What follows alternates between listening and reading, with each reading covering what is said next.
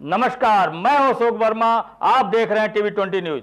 TV twenty news पर लगातार खबरें जारी है, बने रहिए हमारे साथ।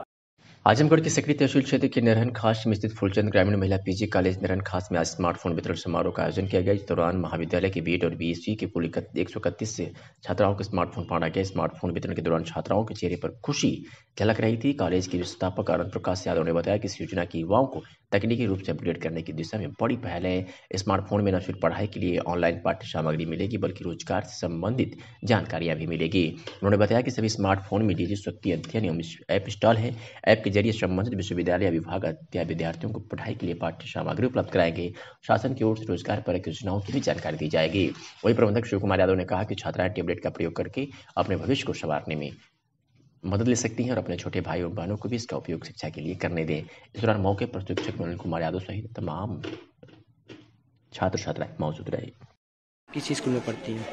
मेरा नाम अंजलि मौर्य है और मैं कोचिंग मेरे पीजी कॉलेज में पढ़ती हूँ। अच्छा यहाँ पे आप आज आपको मोबाइल मिला कैसा लग रहा है? खुशी यहाँ पे हम सभी लोगों को फ़ोन का वितरण हुआ काफ़ी अच्छा लगा। अच्छा सरकार को क्या करना चाहेंगी जो आपको मोबाइल दी मैं सरकार को बहुत सारा धन्यवाद कहना चाहूँगी। फुलचंद ग्रामीण पीजी कॉलेज नारायण खास मैं अध्यापक अनिल कुमार यादव। इस मौन योजना के तहत जो सशक्तिकरण उत्तर प्रदेश सरकार द्वारा जो वितरण हुआ है आज बीए बीएड और बीएससी के क्लासों के आज स्मार्टफ़ोन बटा हुआ है।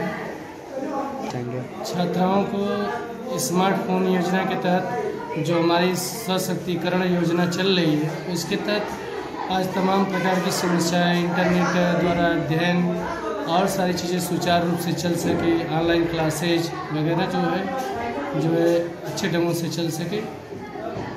मैं उसी के लिए संदेश देना चाहता हूँ।